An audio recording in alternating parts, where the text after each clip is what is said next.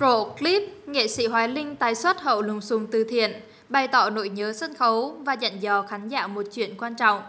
Trong clip, nghệ sĩ Hoài Linh cho biết đang nhớ khán giả và sân khấu rất nhiều, thực hư là gì? Vào tháng 5 năm 2021, nghệ sĩ Hoài Linh vướng vào lùm xùm liên quan đến việc sao kê khoản tiền 13,7 tỷ đồng kêu gọi cứu trợ miền Trung. Sau thời gian dài im lặng, nam nhân hài đã đăng clip chân tình, cung cấp đầy đủ giấy tờ liên quan sau đó lui về ở ẩn. Trong tháng 7 năm 2021, nghệ sĩ Hoài Linh đã âm thầm nộp đơn tố cáo bị vu khống, thóa mạ và mong cơ quan chức năng vào cuộc để lấy lại danh dự.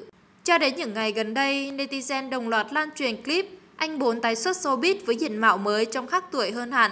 Trong clip, nghệ sĩ Hoài Linh gửi lời cảm ơn khán giả đã an ủi, động viên. Cụ thể, nam nhân hài thổ lộ, lâu lâu tôi nhớ sân khấu, nhớ khán giả thì lên tâm sự trên Facebook.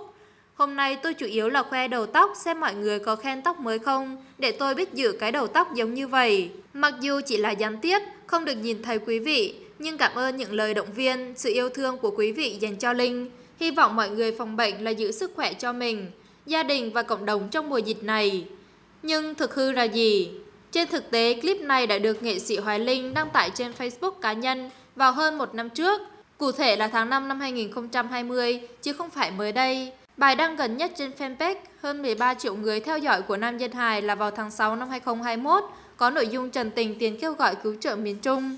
Từ lần sau lần lên tiếng đó đến hôm nay, nghệ sĩ Hoài Linh đã hoàn toàn không xuất hiện hoặc có bất kỳ động thái nào mới trên mạng xã hội. Cũng trong clip lên tiếng hậu liên quan lùm xùm, nghệ sĩ Hoài Linh cũng thông báo rút khỏi chương trình Thách thức Dân Hài. Nhân đây tôi cũng gửi lời tới công ty Điền Quân, các bạn đã thương mến tôi, mời tôi trong chương trình Thách thức Dân Hài. Nhưng qua sự việc này, Thôi tôi xin các bạn cho tôi xin rút ra khỏi chương trình vì tôi không muốn làm ảnh hưởng đến chương trình của các bạn.